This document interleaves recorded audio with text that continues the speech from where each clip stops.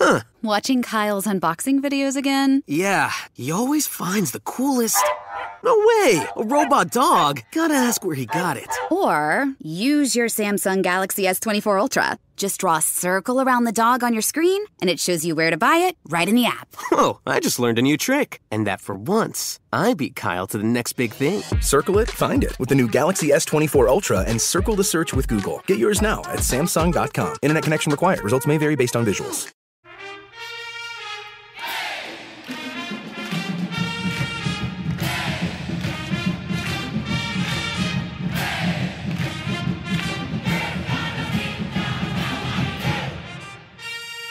Hello, Duke fans, and welcome to episode 339 of the Duke Basketball Report podcast. It is Monday, September 6th, 2021. It is Labor Day here in the United States, and in a few short hours, it will also be the first night of Rosh Hashanah for those who are observing. I am your host, Sam Klein.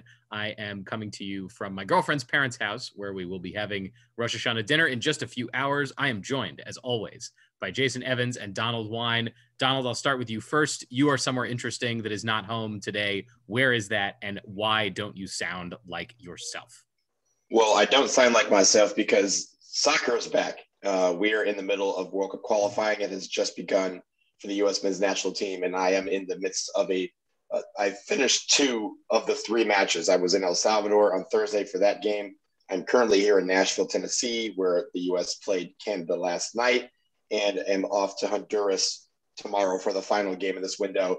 Um, it's a lot of fun. It's very tiring, as you could probably hear from my voice, uh, but it has been a fun time down here in Nashville. We had over 40,000 people at the game. Our group that I helped run had about 3,000. So uh, it was a nice little uh, mini reunion, so to speak, when it comes to the game. Excellent. And Jason Evans is also here. Jason, what is for dinner tonight? Oh wow, I haven't even thought about it. I'm going to my mom's. I, I, I don't know what we're doing for dinner. You're not tonight. in charge. I'm not in charge, right? I actually do a ton of cooking in my family. Like one of the things about COVID is for some reason I've become uh, the the family chef, uh, but I'm not cooking tonight. By the way, happy New Year to you, Sam. Thank you. You too. You too. Happy All right. New Year to you both. Thank you. Uh, appreciate that. Uh, appreciate all of you out there and hope everybody, even if you're not uh, celebrating the Jewish New Year, that you're at least having a, a long weekend and getting to enjoy Labor Day. And, and by the way, let me jump in and, and say to folks, you know, you should probably be paying attention to Donald's soccer podcast. This is the time to be paying attention. Donald, I'm gonna I'm gonna pimp out your soccer podcast for you because uh, it's it's an exciting time for the U.S. men's national team, although the results have not been what we had hoped so far. Yeah, well, it, has been, it'll be a lot to talk about when I get home this week and record uh, for both Stars and Stripes FC and also the World of CONCACAF podcast. Um, but if you guys, in the meantime, just a little side plug, if you are familiar with the writer Grant Wahl, I happen to be on his podcast earlier or late last week. Uh, so you should check that out as well. Excellent. Excellent. All right. We have enough. I think that's enough about soccer for this show, although I'm sure it sure Agreed. will come up again. Uh, two pieces of news that we need to hit on here.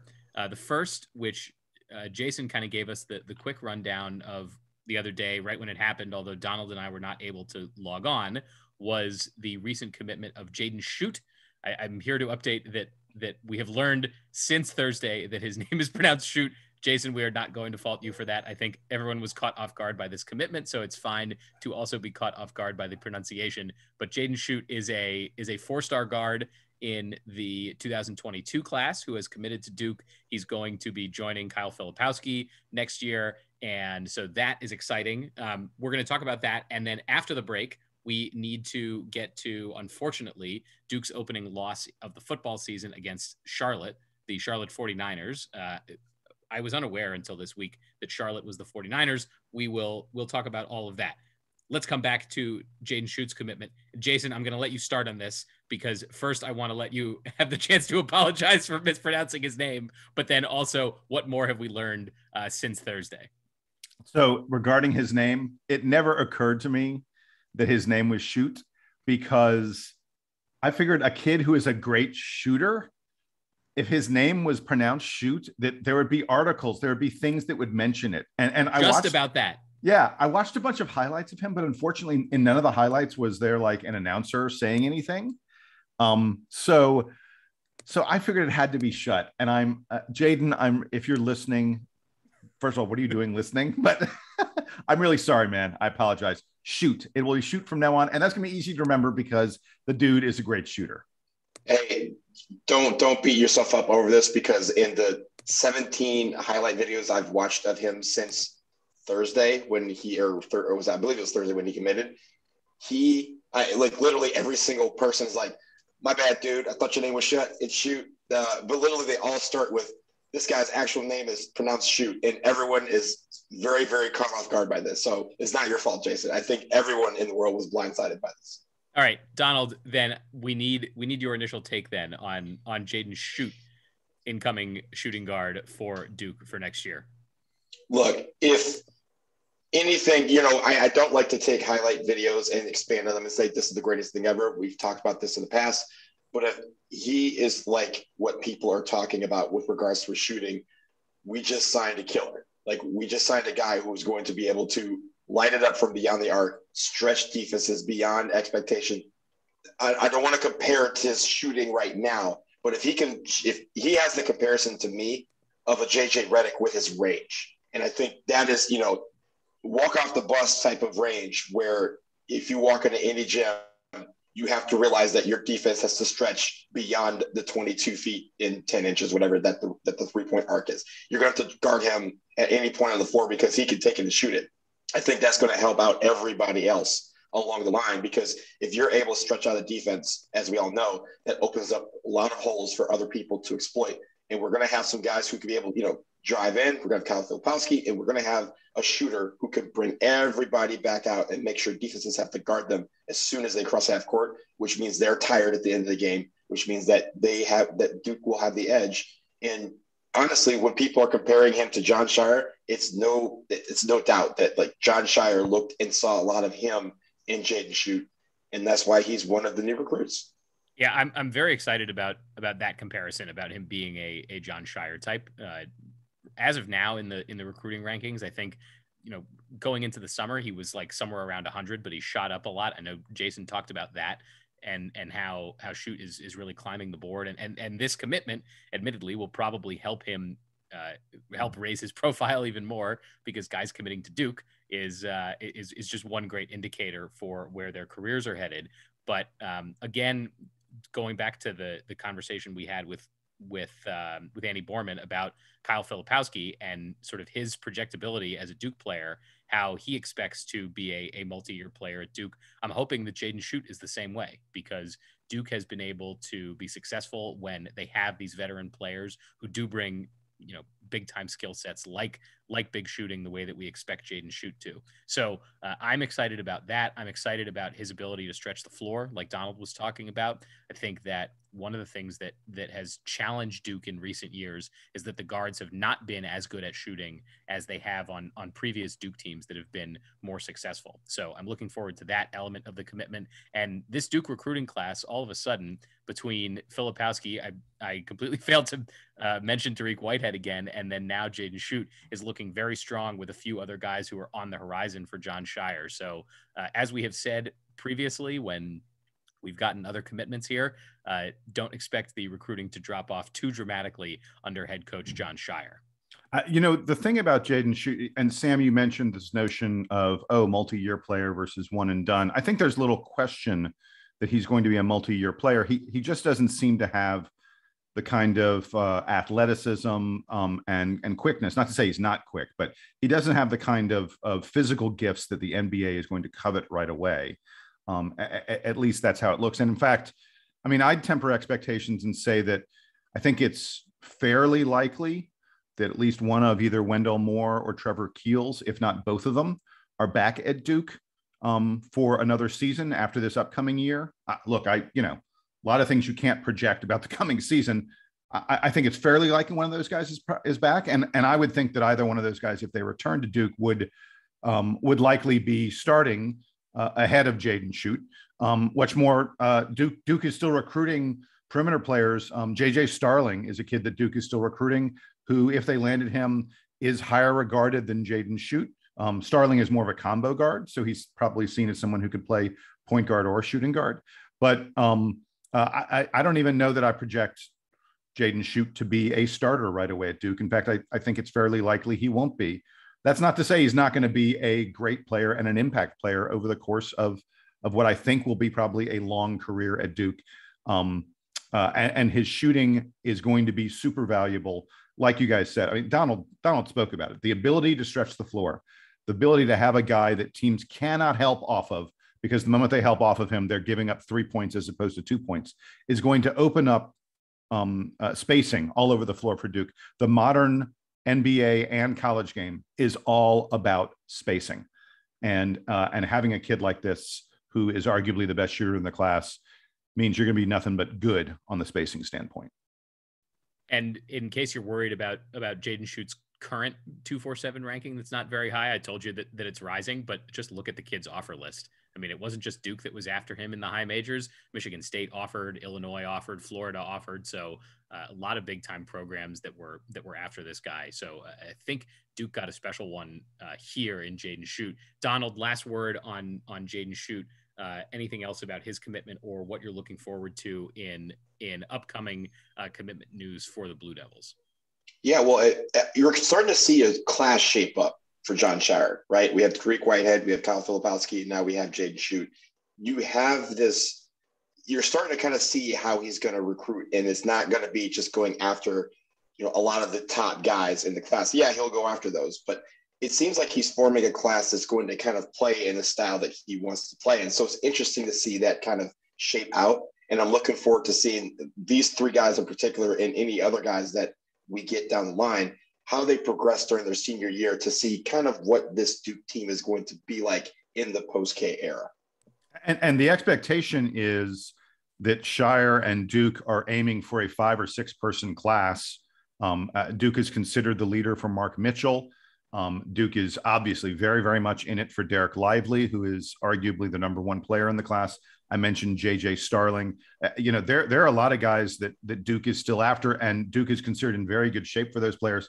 And if you put, let's say it's those six guys, because that's what some people say could really happen. If you put those six guys together in a group, it, it, it kind of forms a, a, you know, like a starting five plus one sub. Schutt would probably be the sub there, but uh, it, it, it's a really interesting set of players who could be coming um, and, and forming the core of what Scheyer has in his first year, along with, in all likelihood, like I said, at least one or two, maybe even three guys returning from the current Duke team.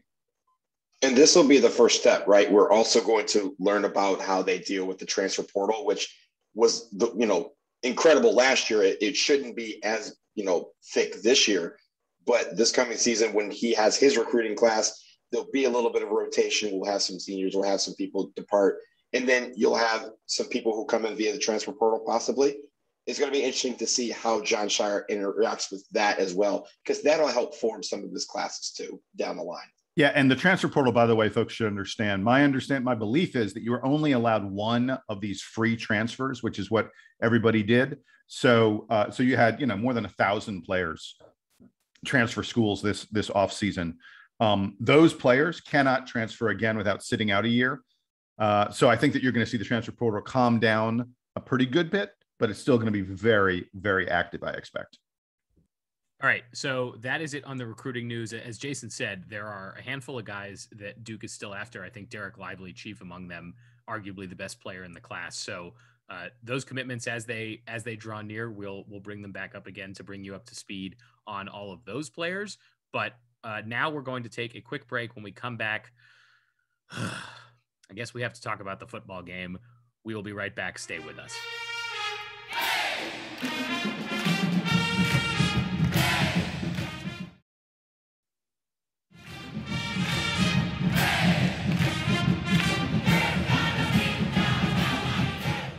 Gentlemen, it was a difficult Friday evening for Duke in Charlotte. Uh, this past weekend, Duke uh, visited the Charlotte 49ers and lost 31 to 28. It was a heartbreaking loss as Charlotte was able to drive down the field with just a couple minutes left in the game to uh, to to take a touchdown uh, for the lead to to finish off Duke. It was Charlotte's first win against a Power Five program in program history.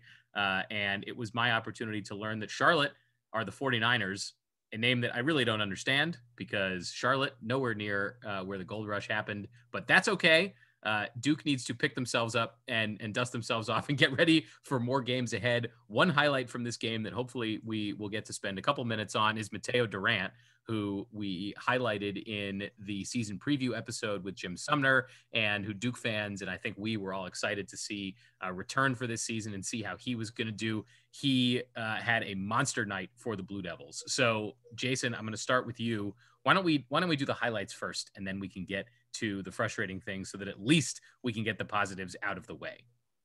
Yeah, Mateo Durant. Yeah. Uh, there you go. my, uh, uh, in fact, uh, my perhaps my biggest criticism of this game is that Mateo Durant carried the ball 29 times. I wish it had been more like 35 times. uh, more than half of Duke plays did not involve Mateo Durant getting the ball. What are we doing on those plays? we need to get him the ball every single. I, am kidding, of course. Obviously, there is wear and tear, and you have to worry about those kind of things. But the the kid was absolutely uh, electric. He was ripping off big runs. He was grinding it out. Uh, I, I, I, like I said, I, I think Duke Duke should have tried to get to him more if they could have. Uh, I also thought Jake Bobo had a pretty nice game receiving uh, receiving wise. Um, I, you know, as as we've seen over the years recently, uh, the Duke receivers don't do a great job of getting open, and even sometimes when they are open, they they don't hold hold on to the ball. Jake Bobo to me looked like the guy who was the uh, most reliable, at least in terms of holding on to the ball.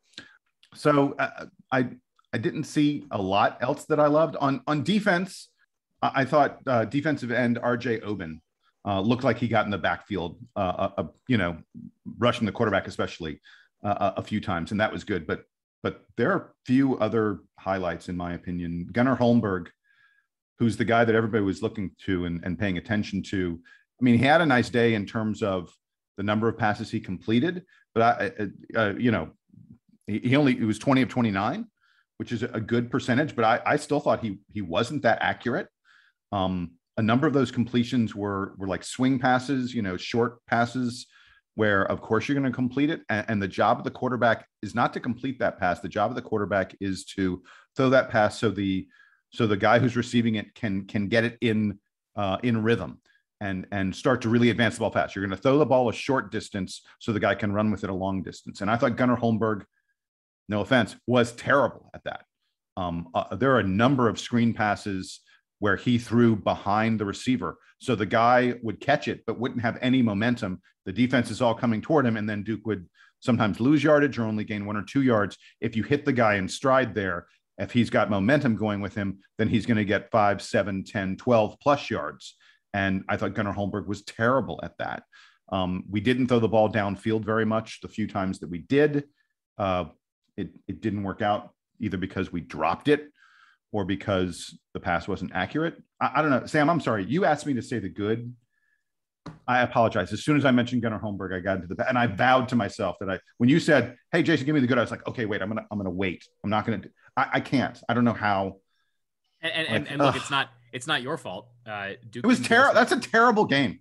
Let's let's be clear. Be excited about uh, the, the bummer for me the bummer for me on on Gunnar Holmberg is that he is an experienced guy. Like he doesn't have that many snaps uh, under his belt, but he's got years in the program, and so you would think that there would be like just a little bit more sort of general maturity to his game, despite the lack of playing time, just because he's been around other good quarterbacks and and he's gotten to learn under Coach Cutcliffe and the and the offensive system at Duke and, and it and it hasn't it hasn't showed yet. So um, there are plenty more games for for things to recover. And by the way, Duke is not the only team in in the ACC that that looked a little lost uh, this weekend on the football field. Donald, what were your impressions of the of the Duke game? And then maybe if we want to touch on on the rest of the ACC just briefly, we can do that after. Yeah. So really, when it goes back to Durant, I thought he had a better game than Jason just advertised, and that's hard to say because Jason just lit up the world about Mateo Durant. The fact is, he had 8.8 yards per rush. Think about that. The, the guy who has the most rushing at the biggest rushing average in the history of the NFL is like 5.7. Like he literally was averaging almost a first down every time he touched the ball. And then when he caught the ball, he was going for 16 and a half yards. So every time Mateo Durant touched the ball, he made something happen. I think that was what we talked about in the preview with Jim Sumner. I'm glad we were right on that. I like being right on things like that. So Mateo Durant had a really great game. One guy I, I thought that you overlooked a little bit was Jordan Waters. And Jordan Waters, I thought, had a pretty decent game. He only had two catches for 40 yards, but he also had five rushes for 65 yards. And that was just another way for the offense to keep moving down the field. And I think when it comes to this offense, I thought from the highlights, I thought we saw a lot of stagnation that we are used to seeing. And we were told that that was not going to happen. Um, and so that was kind of the disappointing thing is that we had a little bit of stagnation. And because of that, we, you know, Charlotte was able to stay in the game and, main, and be able to focus on getting the win. Mateo Durant runs off a 53 yard touchdown with a minute 44. That should, that should have broken every back in the 49er stadium, whatever they call it. I'm sorry, Jerry Richardson Stadium. They should have broken every back that was in that building, and they should have never recovered from that. But they were able to because for some reason, it was always instilled in that confidence that Charlotte had that they could come back and have enough time to win the game. And even when they took the lead with 30 seconds left, we still have Mateo Durant. The whole building should have been like, well, this guy's getting the ball. And we weren't able to make anything happen. So that is that is the disappointment there. Uh, but I do think there was a couple of people who could uh, who, who we had saw a lot of promise from. I will say the one thing, Jason, that we talked about a lot last year was turnovers. We didn't have any interceptions, but we had two fumbles that were recovered by by Charlotte. Again, that is two more possessions that we could have gone a long way, especially when you had someone as hot as Mateo Durant working for you. Well, well, wait a second. One of those possessions, one of those fumbles, we couldn't go a long way because we were on the one yard line. Uh, right. I, oh my God. I, I, mean, for us, Duke had almost talk about missed opportunities. Uh, Duke had almost 600 yards of offense and only scored 28 points. Uh, and when you think about the fact that um, a lot of those points were Mateo Durant ripping off 50 plus yard runs, uh, you're like, how how did Duke only get 28 points in a game like this? It was incredibly frustrating. You know, we had the the QB fumble uh, on essentially the one yard line, zero points from that possession. Jalon Calhoun dropped a perfectly thrown deep pass. He was wide open. There was literally no one within five yards of him. It it hit him perfectly in stride, um, which which was a rarity for the vertically challenged Gunnar Holmberg. Um, and uh, it it literally hits him in the numbers and just goes right through his arms. I, I don't know how. That's seven more points off the board. Uh, the, easily 14 Duke 14 more points with ease. They they should have had in this game. I, I, the defense was the number of missed tackles was just unbelievable. It's it's like these guys have been practicing like not in pads, like oh let's not hit each other too hard, so so they forgot how to tackle in practice or something like that. Because there were a number of times we had guys for uh, for for uh, Charlotte who were bottled up and they would you know shimmy a little bit or, or run a little bit and, and suddenly like the Duke guys were bouncing off of them. Guys were going between our arms. It was it was terrible. And and, and I don't want to I don't want to go without talking about what I thought was some terrible coaching. I thought some some really poor play call.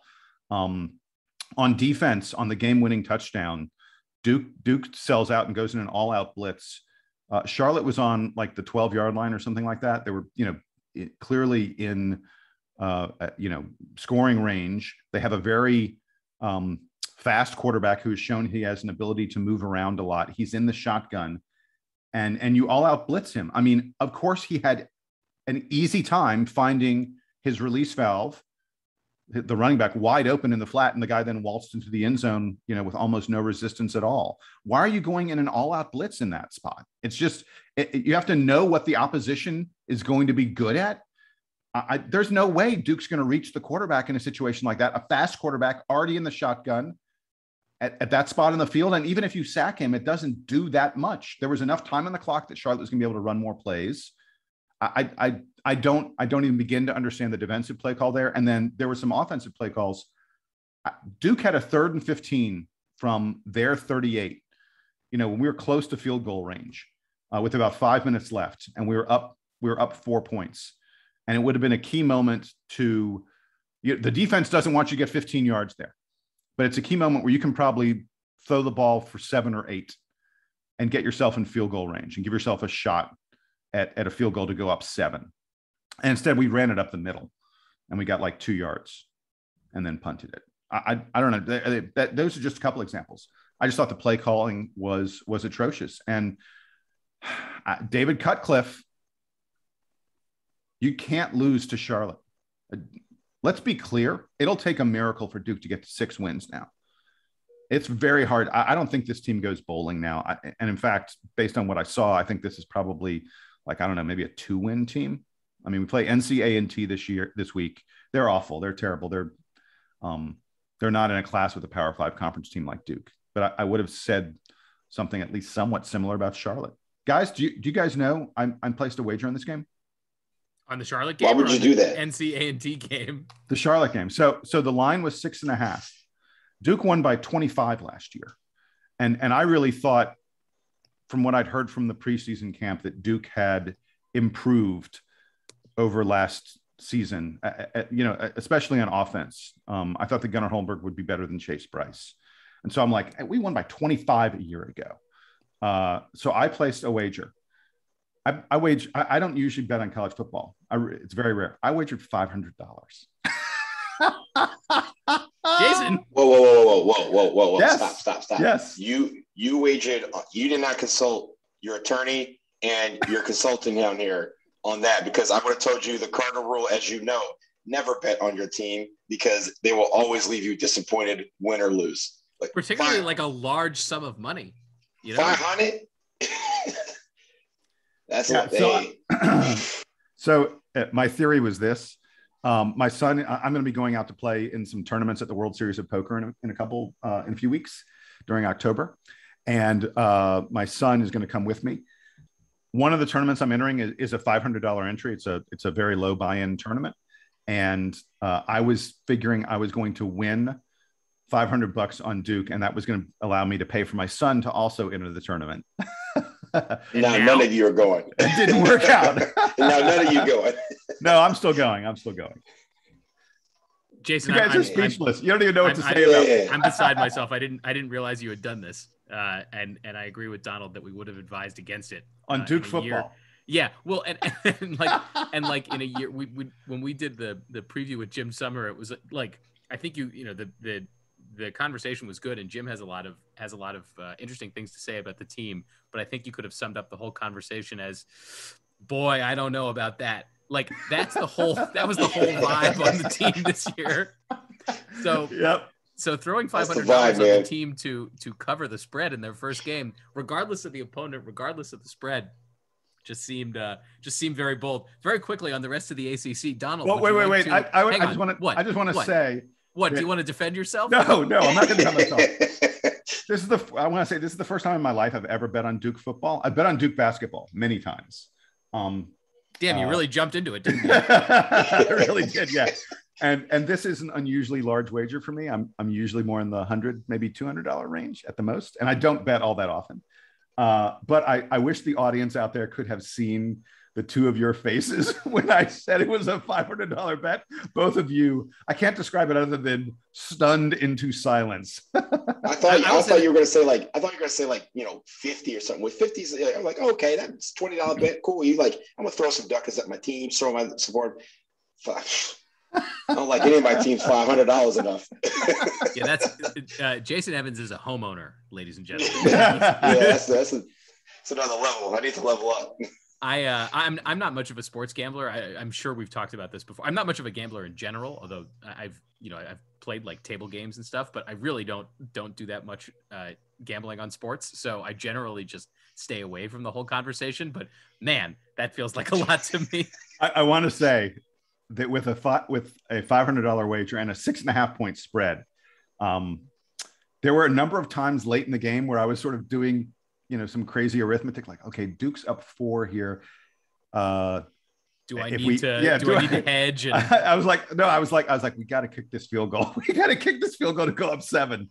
And then, uh, and then, um, when Charlotte was driving down, my son said to me, he's like, you know, if they score a touchdown here and take the lead, Duke can come down, kick a field goal, and then in overtime, Duke could win by seven. And I was like, yeah, let's see. Duke has to get the ball first. They have to score a touchdown, and then because if they score, because in overtime, if they if they go second, you never win by seven. The most you could win by is six. I'm like, okay. And I was doing all the all the you like you root for did some weird things. Did everybody follow this? Did everybody follow this whole line of thinking? Just be careful when you when you jump headfirst into sports gambling. Uh, speaking of of of the lines and and the ACC. Donald, would you like to apologize for Miami not covering the spread against uh, against Alabama?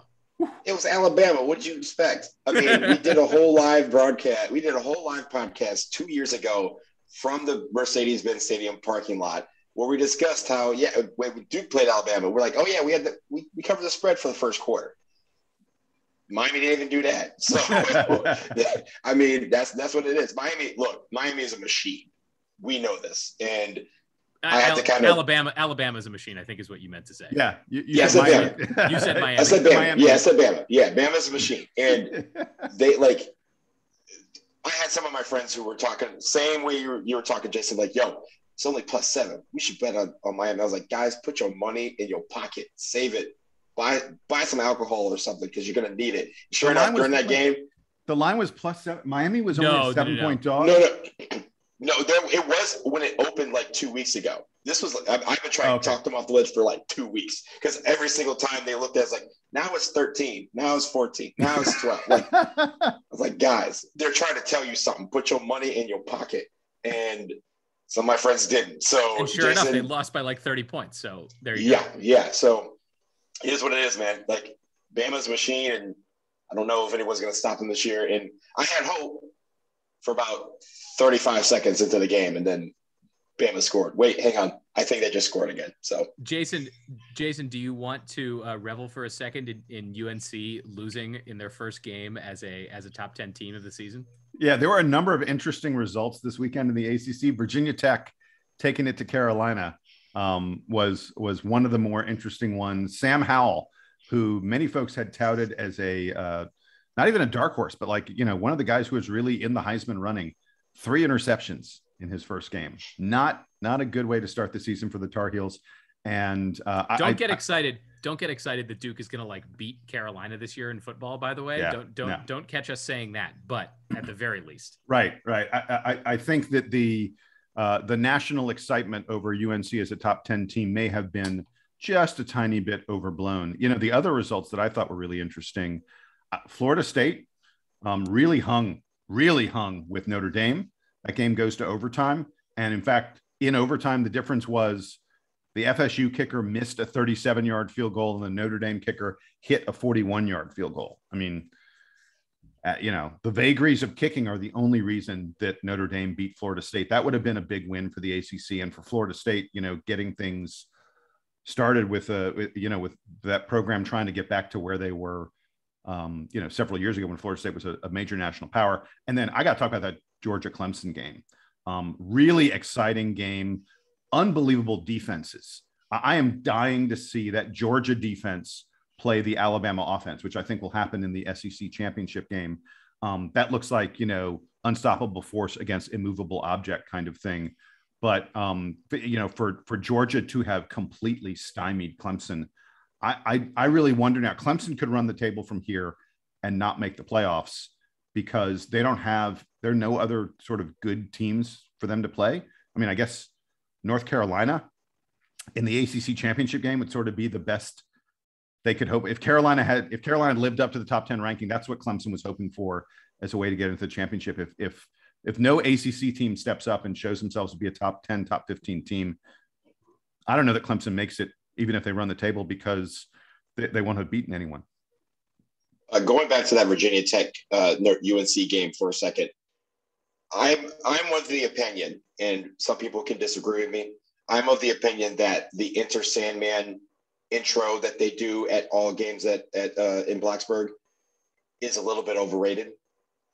Except when it's the opening weekend of college football, that entrance that they did would have beaten anybody. They would have blown everybody out of the gym. They were hyped for that game, and I think that's kind of where you kind of get the, the, the you know the spider senses and your, your the, the goosebumps on your skin. That's what college football is about, right? Like the intro, the, the intro to college football, the opening weekend. I mean, I know they had week zero. We won't count that, but this is for all intents and purposes the opening week, and to have that sort of atmosphere back in the midst of gestures it all outside, right? That this climate that we're in, it's really something special to see, and it's something that I think all of us are like, we wish we could have that uh, for Duke football, and for you know, and for me for Miami, to have that feeling of, you know, a new season, a new beginning. We're going to do something, and for it to fall flat, that's where the frustration kind of lies with some of my teams.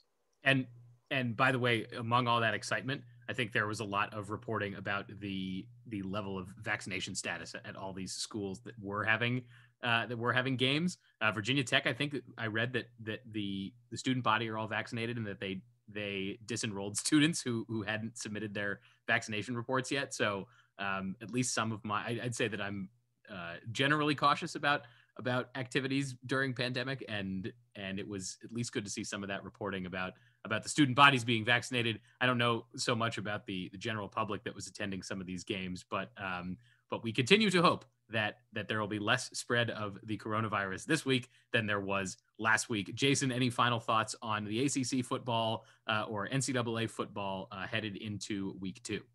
Uh, yeah, for for all of us Sam alluded to this, but I wanted to uh, put a finer point on it. For all of us who were frustrated, disappointed, upset that Duke lost to Charlotte, uh, at least we didn't lose at home to Northern Illinois. Georgia Tech uh, lost at home to Northern Illinois.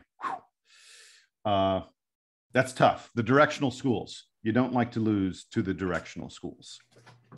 So that will do it for this episode of the Duke Basketball Report podcast for Jason Evans and Donald Wine and for our very very sad football team. I am Sam Klein. We will be back very soon with a with a fun uh, special edition episode that'll be coming at you that is not uh, about any of the any of the topical news. We'll be doing a fun draft, so check out that coming soon in your feeds. But until then, uh, so long, take care, go Duke, and Duke Band, take us home.